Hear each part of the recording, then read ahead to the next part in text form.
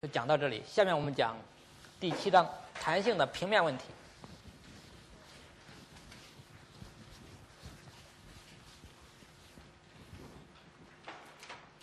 弹性的平面问题。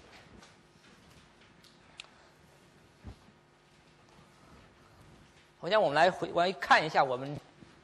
到现在为止我们已经讲的内容。我们这个课呢，一共有十章的内容。我们到现在呢，讲完这节课以后呢，我们这个课是上完一半儿。讲完这儿以后呢，我们这课上完一半儿，前六章是一半儿。第一章呢，我们讲了一些弹性力学的一些一些故事、一些历史，它的应用，它的各种各样的应用，在航空航天、在生物、在等等各个领域的应用，以及它发展的一个简单的历史。第二章呢，是我们讲了弹性。弹性力学的一些数学工具，也就是张量分析的一些基本的概念、基本的方法。然后呢，接着我们讲了应力分析，就是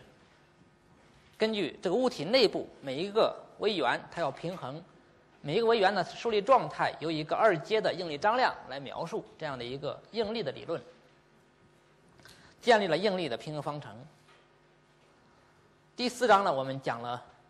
这个物体内部，这个每个包圆之间、每个微圆之间，它们相对的运动、相对的变形所满足的基本的规律，也就是我们每一点的变形呢，我们用二阶的张量应变应变张量来描述。讲了应变它的协调方程，应变的协调方程，以及位移跟应变的关系，有几何关系。然后呢，讲完应力跟应变之后，我们就讲应力跟应变它们之间是如何联系的，也就是所谓的平衡方程，就是平衡方程。也就第三章、第四章、第五章呢，是我们讲了弹性力学的十五个基本的方程，就是平衡方程、几何关系、本构关系十五个方程。然后呢，第六章呢就讲。弹性力学它的两种求解方法，以及相应的一些基本的原理，就是位移位移解法、呃应力解法以及应力函数的方法。那么到现在为止，我们这个课程就讲了基本上一半的内容。然后下面呢，第七章、第八章、第九章呢，是讲一些具体的一些问题的求解求解方法。第七章主要讲平面问题，就是。把这个物体问题呢，再简化到一个平面上来，一个平面应力、平面应变，它们的求解方法，从笛卡尔坐标系的求解方法到，呃，到极坐标系的求解方法。然后这是一一一一大类问题，一大章。然后呢，是重心杆的问题，重心杆它的扭转、它的变形、它的求解。然后是空间问题，空间问题还有。呃，最后一章是能量方法，方法，也就是现我们还剩下四章要讲。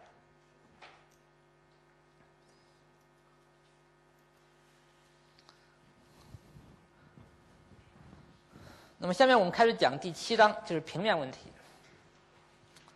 平面问题呢，是我们弹性力学里面的求解问题里面的一个重点，就是因为三维的问题我们呃很难。用用笔来求，就是解析的解很难得到。我们能够得到一些解呢，大部分都是一些平面的问题或者一些呃重心杆的问题等等。我们这章呢主要讲平面问题，然后下一章讲重心杆的问题。嗯，我们先讲平面问题它的定义、它的分类，然后呢讲平面问题它的基本的求解方法，然后讲埃尔应力函数它的应用。然后极直角坐标、极坐标，它分别下的分别进行求解，然后轴对称的问题、分对非对称抽的问题等等，这是我们这一章的基本的内容。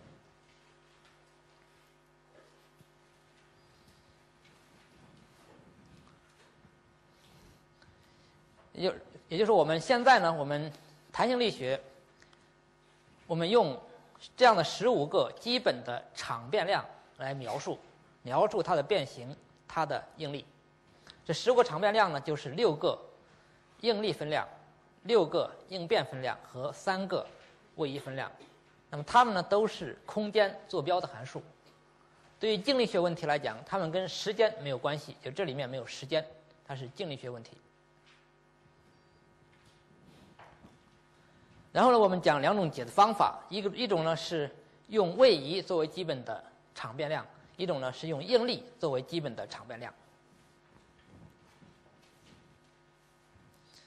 到了平面问题里面，我们还是用这两种求解方法，一种是以位移，一种是以应力作为基本的场变量来求解，也就是所谓的位移解法和应力解法。在位移解法里面，对于三维的问题呢，我们简化成这样的一个椭圆形的二阶的微分方程，是这样的一个方程，是 L_n 方程，拉梅拉维拉维尔方程。对于应力呢，我们用这样六个方程来描述，描述一个三个应力的平衡方程和三个就是贝尔特拉米米歇尔方程，有应力表示的协调方程。如果你用应力函数的方法呢，就应力平衡方程呢自动得到满足，那么这样的 B_n 方程呢就剩下三个。这样的思路呢，就是把我们的场变量的个数呢尽可能减少，减少。现在我们能减少到最低的限度是三个，但是注意这三个，它们还是二哦。椭圆形的二阶的微分方程，椭圆形二阶的微分方程，我们求解析解仍然是非常非常困难的，只有很少量的一些问题我们能够导到它的解析解。因此呢，我们希望呢，对于大量的工程问题呢，我们看看能不能再一次进行简化，把场面量呢再进行减少。那么它基本方法呢，就是说我们在很多问题里面，比方说这样的一个墙，或者这样一个一个一个墙一个桌子等等，它呢都有一一些基本的规律。所谓基本的规律呢，就是说它往往呢有一个方向的特征尺寸非常大，或者是在某一个方向特征尺寸呢非常小。我们对于这样的问题呢。我们就可以呢把它简化成什么呢？简化成一个平面的问题。你像这样一个一个墙面，一个墙面，这个墙面呢，它的厚度一般来讲得远远的小于这个这个墙的高度和它的宽度。而且这个墙呢，它受到的载荷呢，一般来都是这个墙面内的载荷，很少受到这样的一个外外面的一个推它的载荷。即使有这样载荷，相对来讲也是比较小的。因此，我们就可以把这样墙呢看成就在这样一个平面内来求解。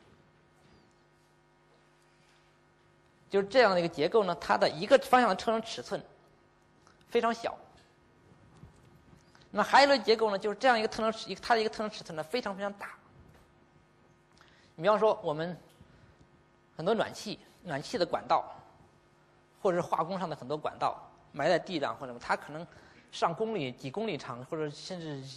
几百公里、上千公里长，它非常长。它这个它这个长度呢，比它的直径、比它这方向特征尺寸呢大很多。那么这个时候，而且它受载荷呢，也是也是一个外部的这样的一个面内的这样的载荷，就是沿着横截面方向载荷。那么这是两类问题。对于这类问题呢，我们都可以把它简化成平面问题。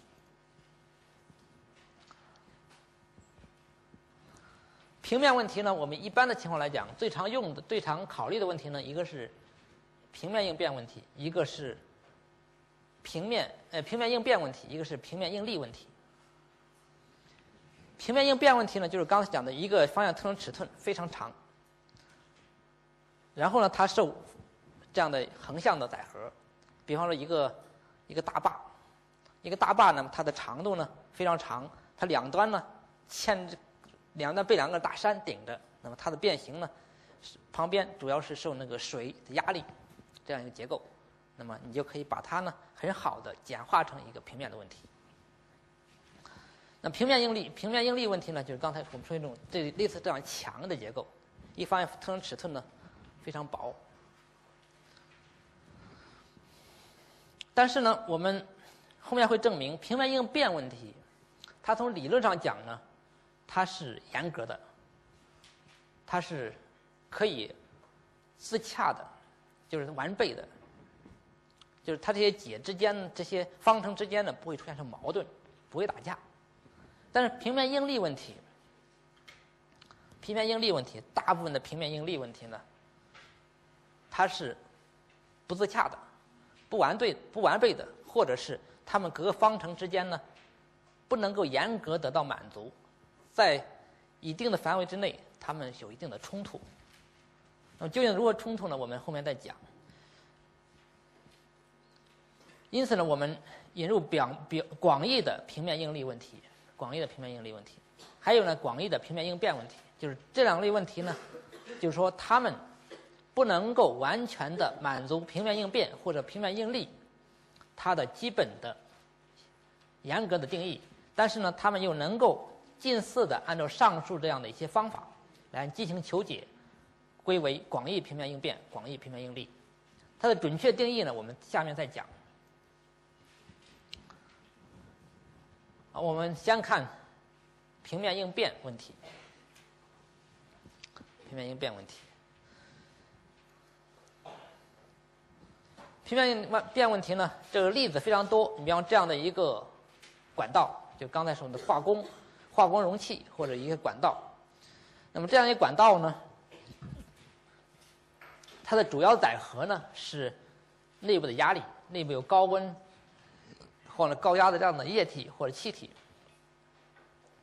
然后呢，它两端呢可以认为它是约束死的。你像这么一个这么一个一个大的压力容器，这么压力容器，它们之间呢传输这样的液体，或者是这样一个管道埋在地底下，它很长，很长的结果呢就是它它的轴向，它沿着轴向呢它很难运动，很难变形，它都约束死了。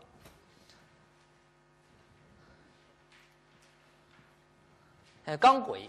一钢轨，钢轨呢，它铺在地上，它也很长，它也是固定死的，它很难很难的这样的的一个发生轴向的这样的变形，变相对相对来讲很小。这一个大坝，大坝呢两端呢，它这是一个水库，水库呢对这样的大坝呢有有有个压力，然后它两端呢可能是是山体或者是其他的把它固定死的。那么这样的问题呢，都可以看成是平面应变问题。还有房梁，我们这种这样一个一个房梁，很多呢就看成可以看成一个平面应变问题。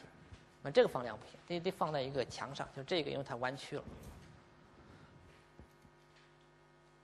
还有其他的一些应用，比方说这是一种复合材料，比方这种树，这树干，那么里面呢，这是一些。圆形的一些纤维，一些纤维。当这个这样一个复合材料它承受这样的面外的载荷的情况下呢，我们很多情况下可以把它看成是平面应变问题进行求解。我们利用一些细管力学的，比方 I 数比张量，可以把它这些每一个加大它的应力应变可以求解出来。好，这是平面应变问题的一些例子。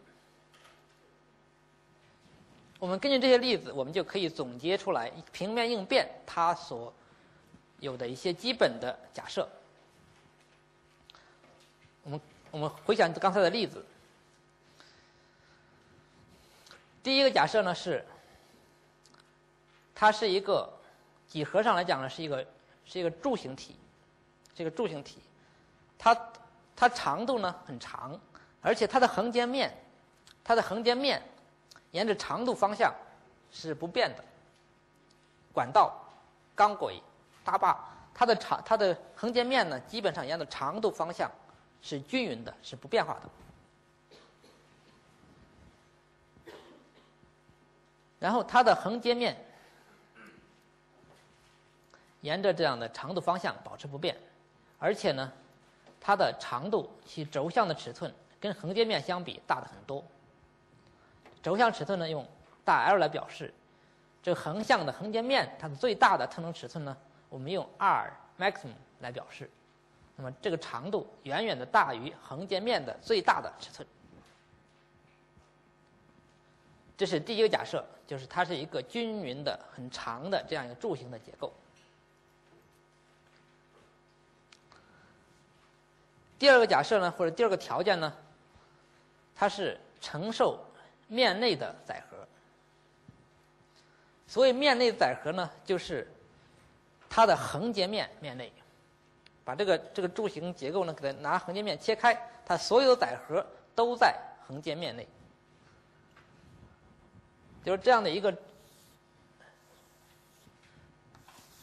一个柱体，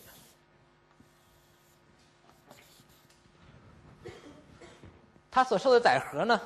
每一点上每一点上所受的载荷呢，它是都是沿着这横截面的，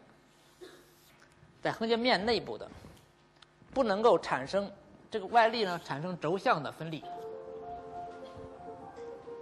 好，我们休息五分钟。